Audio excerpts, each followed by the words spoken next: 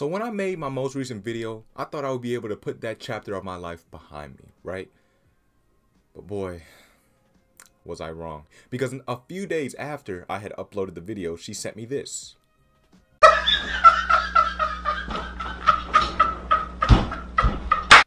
Yep, tagger for free clout. What clout are you looking for? The video's only done a few hundred views. What clout are you possibly looking for? The only clout you're gonna get is a bad eye from my friends, number one, and a bad eye from your friends, number two.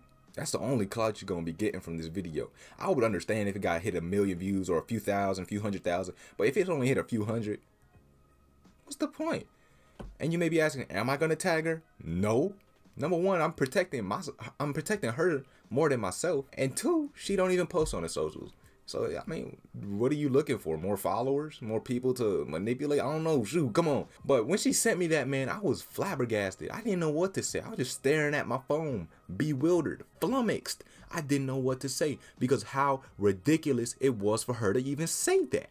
I was just looking at my phone, just like, what are you even talking about? It was just so ridiculous. It just didn't make sense. Why would she even say that? Based on everything that has happened up until that point, why would she even say that? An entire month she didn't even talk to me. And an entire month, my brother, an entire month. Once she sees a video hit a few hundred views about her, boom, that's when she wants that free clout. I'm telling you, bro, Offset was right. They'll do anything for clout. And now that I, now that I'm thinking and talking about it, bro, she might have tried to Johnny Depp Amber Heard me for real, like.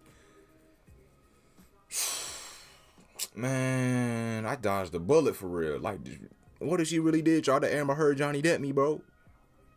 Mm-mm, not letting that happen. No, that's why I'm not tagging you. That's why I'm not putting your name. I'm not saying nothing about you that could identify who you are as a person. But I did talk to her ex before me, which is kind of a red flag if I say so myself. And I asked and I asked them like, why did they break up in the first place?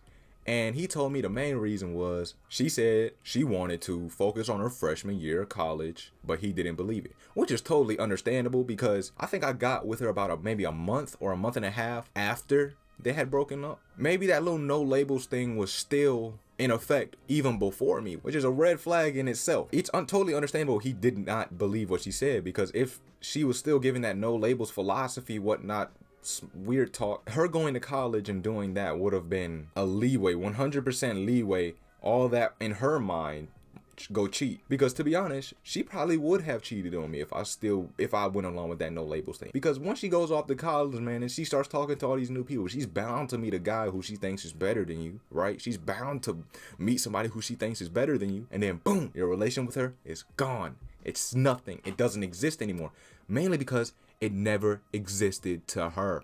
Let that sink in, bro. If she tries to come with you, come at you with a no labels relationship and then she go cheats on you, bro, don't be mad.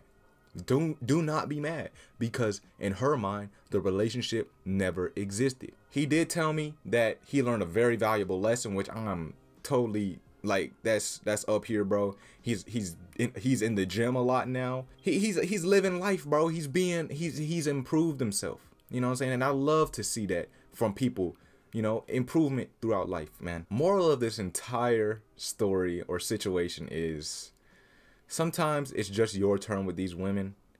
And, uh, don't let them run the game on you because RTG stands for run the game and join RTG now so you can run the game. And with that being said, God bless. Peace out. 100. Bow. Ha ha. Yes, sir.